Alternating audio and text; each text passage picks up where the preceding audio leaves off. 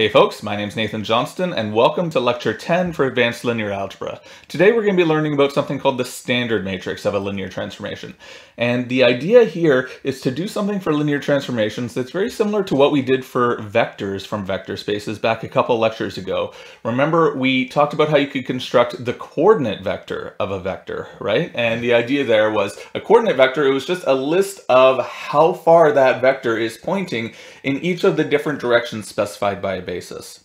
Okay, well, for the standard matrix of a linear transformation, it's the same idea, it's just you have to be a little bit more careful because now you sort of have input and output directions, right? Because it's a function. Okay, so this time we're going to have a basis of the input space and a basis of the output space, and we're going to have coordinates corresponding to each of them. So the details are a little bit messier, but the idea is the same. It's just you're going to construct a matrix now out of a linear transformation, and the entries in that matrix sort of specify, in a sense, how far that linear transformation is pointing in, you know, that input direction and the output direction. All right, so here's, here's how it works. Okay, so this is sort of a theorem and definition rolled into one. It tells us what the standard matrix is, and also the theorem part of it is what it does. Okay, so our setup is you've got two vector spaces and we're going to have a linear transformation between them. So vector spaces v and w, and we've got a linear transformation t going from v to w. Okay, and we're going to need bases on these vector spaces for this all to work as well, for us to be able to talk about coordinates. So you got bases b and d of those vector spaces v and w. So b is a basis of v, d is a basis of w. Okay, and we're going to need to give names to the vectors from b. So that's why we write there. b consists of the vectors v1 up to vn. vn. Okay, and w is just any old m-dimensional uh, vector space. Okay, then what we do is we define a matrix in this way down here. Okay, so I'm jumping around in this theorem and definition a little bit, um, but what we're going to do is we're going to define the standard matrix of T with respect to these bases in this way, okay? And so we use this notation here, which is very similar to the not notation that we used for change of basis matrices. Sort of what this is saying is it's the matrix corresponding to T that converts the basis B into the basis D, okay? So it's like change of basis matrices, um, Um, just because, I mean, T here, it's, it's sending V into W, so, you know, it sort of has to send the basis B of V into the basis D of W. And the way that's constructed actually is very similar to change of basis matrices as well. Okay, so here's the ugly formula, but what it is, is you, you apply the matrix, or sorry, you apply the linear transformation T to each of the basis vectors from the old basis B, from the basis, uh, the basis of the input space, right? Okay, so T gets applied to V1, and then you represent that in the new basis, in the output basis D. Okay, and then that's your first column of your matrix. And then the, the second column of, the matrix is just going to be, you do the exact same thing, except V2 is your input now, okay? And you apply T to it, and you represent it in the output basis. And so on down the line, you get one column from each of these input basis vectors. So at the end of the day, you end up with a matrix that has m rows and n columns, okay? So the, the dimensions of these vector spaces determine how many rows and columns your matrix has. Okay, so when you construct this matrix, well, what's the point? What's it do? Okay, and that's what this equation up here tells us. Okay, what that matrix does is it has the really nice property that if you take any coordinate vector with respect to the input basis and you multiply by this matrix, then you get a coordinate vector with respect to the output basis after the linear transformation has been applied to it. So again, this is very reminiscent of change of basis matrices, except this one, these matrices, these standard matrices, they have the added effect of applying a linear transformation in between. All right, so this is sort of saying that, hey, if if you want to apply a linear transformation to a vector and then represent it in some basis of the output space, you have two ways that you could do that. Okay, you could do it by definition. You could apply the linear transformation and then compute the coordinate vector of the thing. Or you could do it another way now. You could compute the coordinate vector of the input vector and then multiply by some matrix. Multiply by the standard matrix. It's the one that does the job. And either way, you'll get the same answer. All right, so there are just a couple of notes that I want to make before we go through some actual concrete examples here.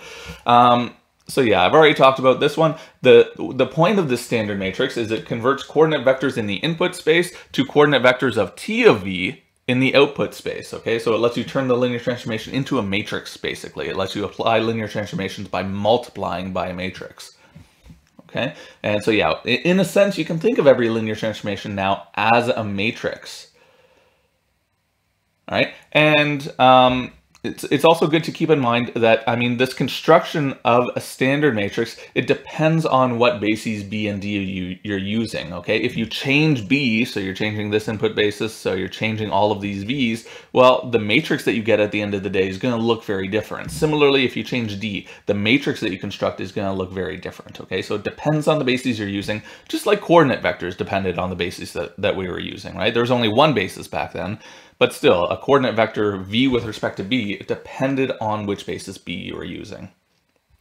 All right, so, so let's prove this theorem, see where, it's, where it comes from, okay? So the thing that we have to prove is this middle equality here. The rest of it's basically definition, right? This equation down here is definition. We have to prove this equality here. We have to prove that this matrix down here does this thing up here that we say it does. All right, so how do we do that? Well, let's just compute it, okay? And we're going to compute it using block matrix multiplication. This is actually very similar to a proof that we saw earlier, okay? So, what we're going to do is let's compute this product, okay? Let's compute the standard matrix times v with respect to b, and let's hope that we get t of v with respect to d. That's what we want. All right, so the way that we do that is, well, plug in the definition of this thing, and that's exactly this matrix, which is, again, just sort of defined column-wise. All right, so I just copy and pasted in the definition of the standard matrix over here.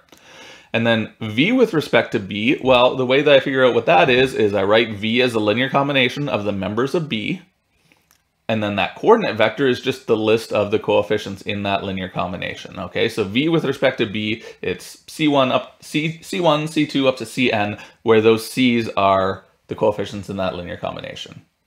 Okay, so now I've got this funky matrix product here, and fortunately I can just do block matrix multiplication because of the way this is partitioned, right?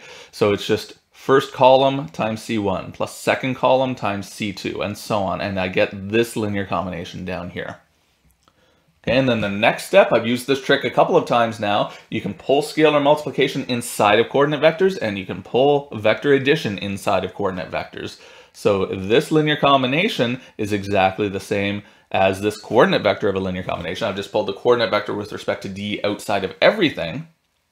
Okay, and then this here, I can simplify this piece that's on the inside of the coordinate vector here by using the fact that t is a linear transformation. Okay, so I can also pull linear combinations inside of t. I can pull scalar multiplication inside of t, and I can pull these vector sums inside of t. So I end up getting t of linear combination and then coordinate vector on the outside of that. And the reason that this is nice is now this linear combination that I've got on the inside of t is exactly v up here. This is the same linear combination, right? All right, so this is actually t of v. And again, still with respect to d is still on the outside there. That didn't do anything with that. All right, so that's it. Okay, so that's the proof of the theorem. That's where it comes from. So it uses all the same ideas that we've used in these sorts of proofs a couple of times so far in this course. All right, and so let's think again, just at sort of a high level, a little bit more about this theorem before we start, you know, doing actual computations. The idea of this theorem is we've got all sorts of different vector spaces floating around now. We've, we've seen how, okay, if we start off with some vector space V here, I'm going to start at this top right corner in this diagram. If I start off with some vector space v and I've got a, a, vector little v in it, there, there are all sorts of things that I could do to it. I could apply some linear transformation t, which takes it over to some vector space w, right? If I apply some linear transformation t that maps into w, then I get t of v after I do that, okay? Another thing that I could do to V instead is I could compute coordinate vectors in there. So maybe I fix some basis B of V, and then I compute coordinate vectors of things in this space, and, and I end up with the coordinate vector of V with respect to B, and that lives in Rn, right? It's just a list of n numbers, so it lives, lives in Rn, okay?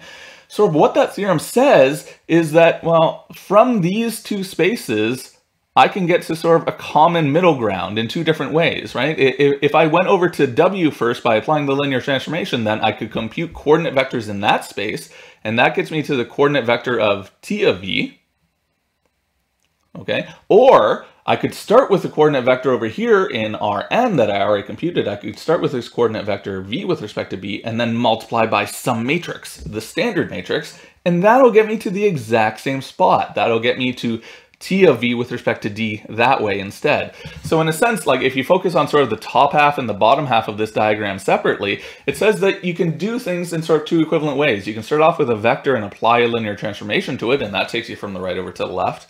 Or you could sort of convert everything into coordinate vectors. I could convert things into v with respect to b and then multiply by a matrix instead, and that also brings me from the right over to the left. Okay, so in a sense, applying a linear transformation is the same as multiplying by a matrix. All right, so let's maybe look at some more concrete examples to get a bit of a better feel for how this works.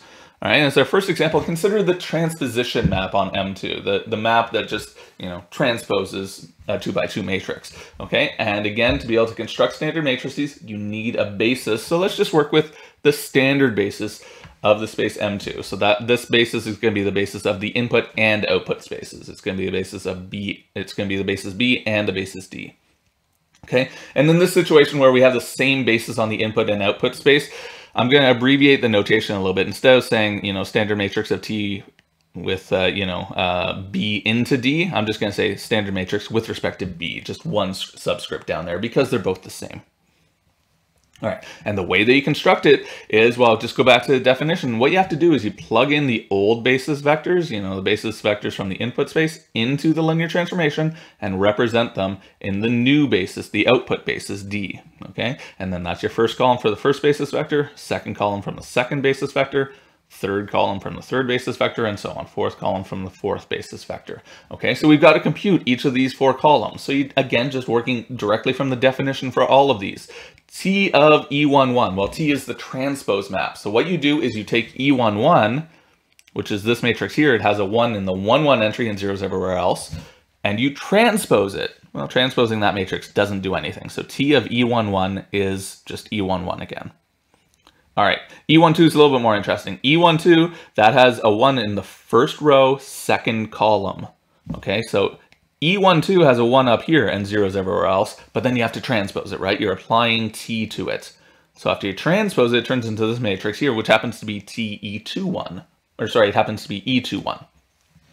All right, and so on. If you compute T of E21, well, that's going to be E12. Transpose it, just sw swaps where the 1 is in the matrix, and T of E22 is just E22. Okay, next up, now that I know what T of these basis vectors is, next up I have to compute the coordinate vectors of them with respect to D, which is, again, the same basis.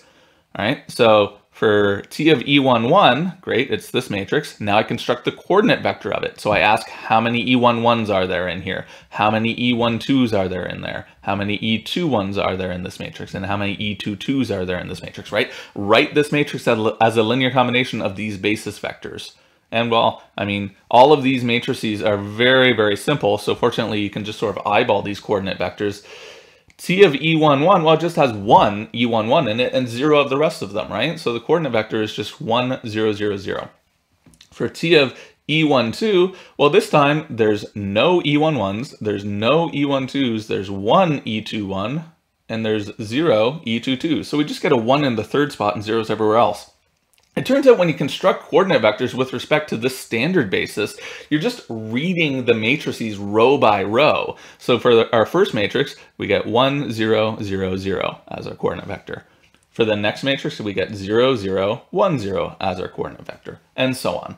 So those are our coordinate vectors. I mean, e, t, you have to do t of e21 and t of e22 as well, but those are similar calculations. And then what you do is you take each of these four coordinate vectors that we compute, and you plop them in as columns and that gives you your standard matrix, right? So 1, 0, 0, 0, that's our first column. 0, 0, 1, 0, that's our next column. And then if we went on and computed these next two guys, T of E21 and T of E22, we would have gotten this and this as our next columns. Okay, so that gives us the standard matrix of the transpose map with respect to the standard basis.